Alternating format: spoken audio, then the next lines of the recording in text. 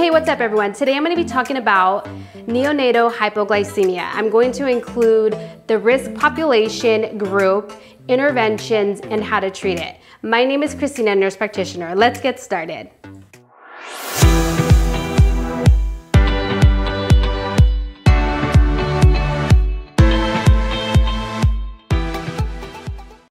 Newborn hypoglycemia is defined as a blood sugar of less than 45 milligrams per deciliter. So for the population of newborn babies that you want to keep on your radar is if the mother had diabetes, if the mother has hypertension and has been treated with medications such as metoprolol or terbutaline, if the baby had sepsis or the baby had some form of hypoxic event, that would also be considered as part of your population. In addition to that, um, as far as the growth of the baby, so if the baby is a late preterm between the weeks of 30 34 to 36 weeks plus six days, they would be part of that population as well. If they are large for gestational age, which is greater than the 90th percentile, or if they are small for gestational age, which is less than the 10th percentile, would be part of your population that you want to keep in your radar. Also, for the mother that may have used substance abuse, such as drugs during her pregnancy, you definitely want to keep that baby in your radar for a hypoglycemic event. For assessment findings with your newborn baby, you may see that they have some tremors, they may be a little jittery, a high pitched cry, or an exaggerated Moro reflex. These are reasons to want to check for hypoglycemia.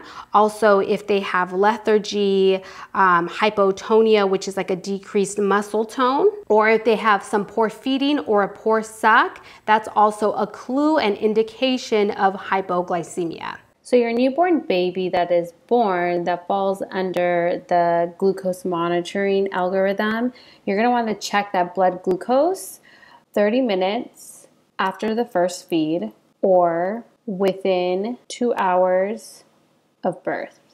So, whichever one comes first. And then thereafter, the newborn baby should be fed um, every two to three hours. Okay, so some babies are gonna need their blood glucose to be checked so your newborn baby's blood glucose should be checked 30 minutes after the first feed or within the first two hours of birth. So whichever comes first.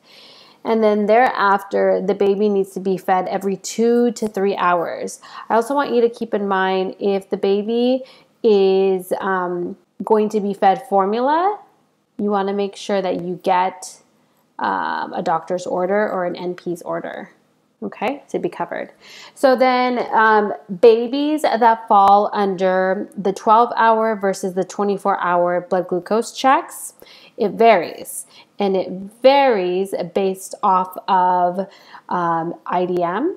So babies that are infants of diabetic mothers, their blood glucose will be checked for the first 12 hours of birth versus um, or your large for gestational age their blood glucose will be checked for 12 hours in duration.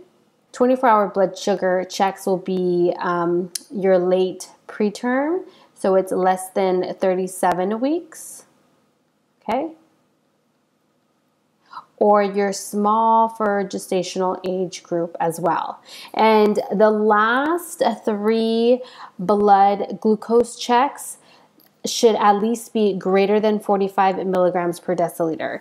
And 45 milligrams per deciliter is your standard for a normal blood glucose reading for a newborn.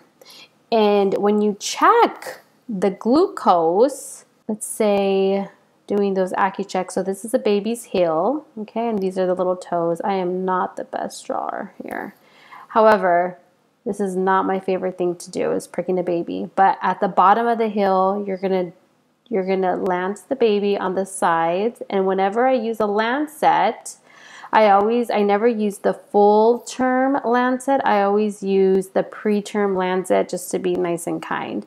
I always avoid this area in the center because you can cause um, nerve damage.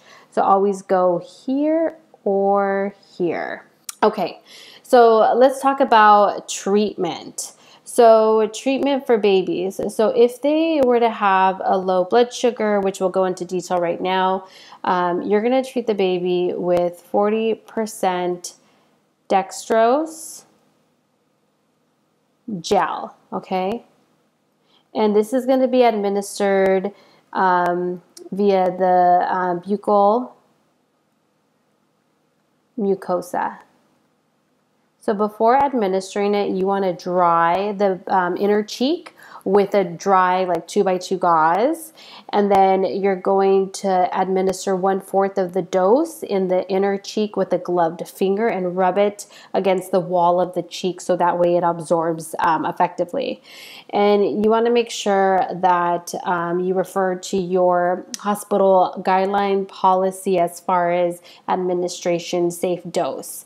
However it can vary so it's in it's weight based, so it's gonna go off of the baby's birth weight, and I mean it can vary from um, 1500 grams to let's say um, you know 5500 grams. So that dose can vary. The dextrose dose can vary from 0.75 mils to as much as um, 2.5 mils, and this is about 0.5 mils per kilo.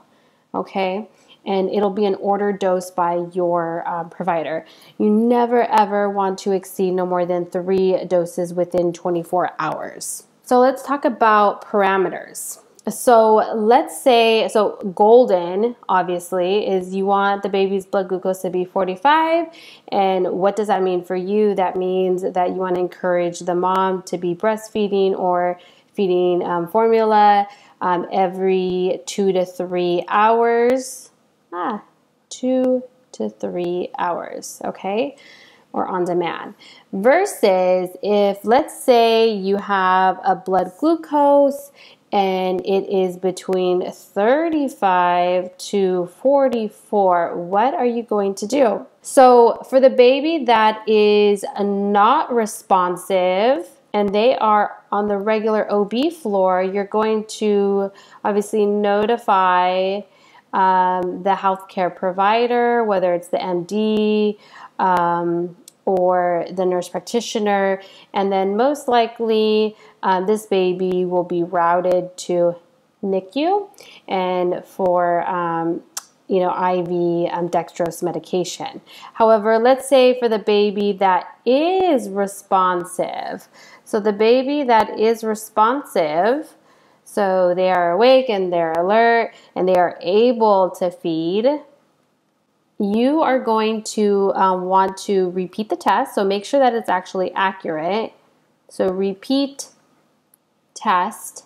And then treatment of choice is the dextrose gel.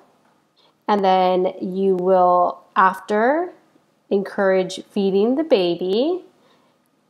And then you want to reassess and recheck within the hour or based on doctor's recommendations. However, let's say that your blood glucose was in the 34 range. That is very low.